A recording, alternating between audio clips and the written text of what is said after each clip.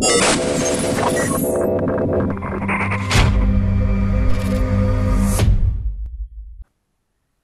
all, I have promised to make a video of this folding box that I have in my photo studio that folds up to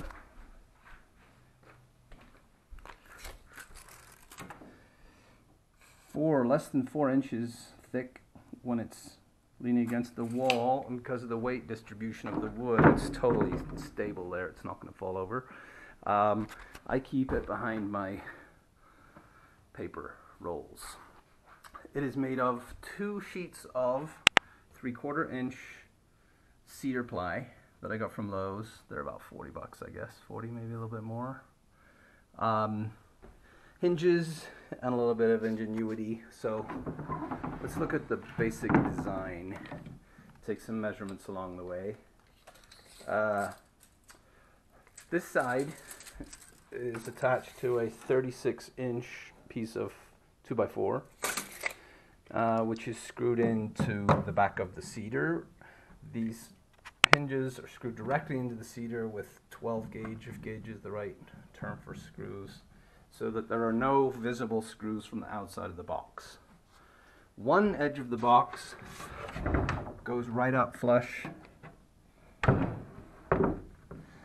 Uh, it goes right up flush to the edge of the box so that there's a nice flush side.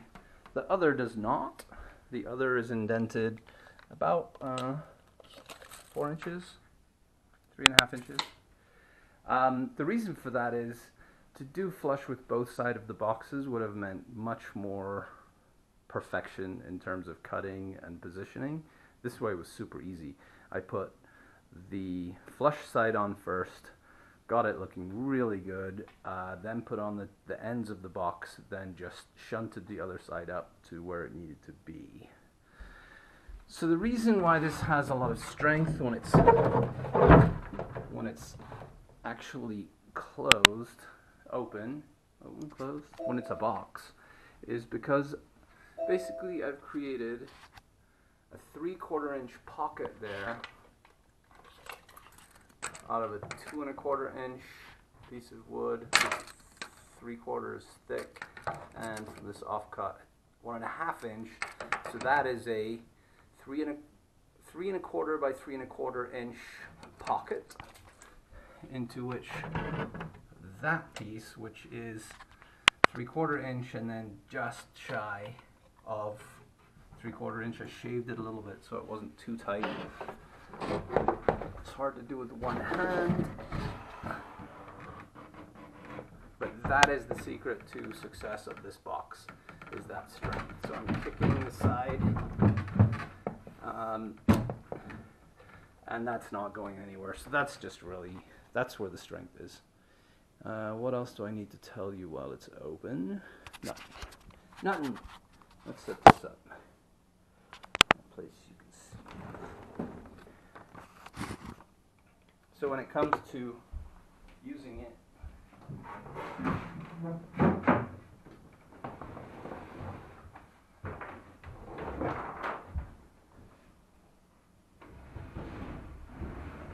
that's pretty much it. And it is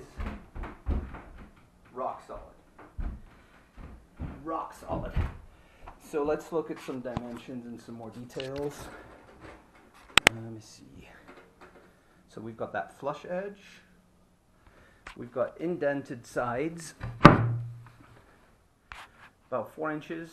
Um, I was going to do flush end, but the amount of engineering it would have taken would have been much more because this pocket idea could not have happened um, to have flush edges. So the main thing is this is positioned, this is positioned far enough to this end so that when it folds up it doesn't hit those 36 inch 2x4s that would be in their way. And then we have that side which is not flush. In terms of wood, let's see. Sorry about the jerky jerky movement. This is cut to 80 inches because that's just about as high as I can do and still leverage it, leverage it down in this height of room. It's 80 inches. but it's the full four foot width, 48 inches. Um, 80 inches is a good length because that's the same size as uh, many bed any bed sizes like queen and double, so this can take bedding. Now here's the cut sheet. So I had, how visible that is, two of these sheets. Um, I got them both cut. Awesome. Let's use something darker anyway.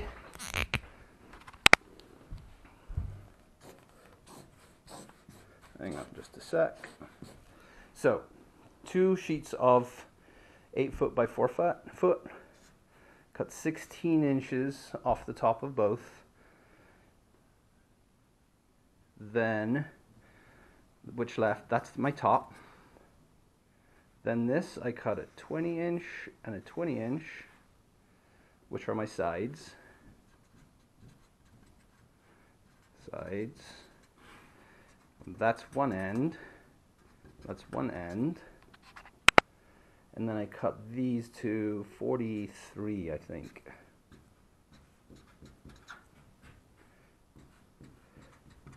And I was left with whatever order we were in. I don't know if I remember, but there was an 8 inch offcut there. So that is the cut list. Um, I had Lowe's do it because cutting this stuff accurately is a pain in the neck, and they've got that big sliding thing. So it really was that straightforward. So I'm going to go to the computer now and go through some photos that I took during construction, and we'll see what happens.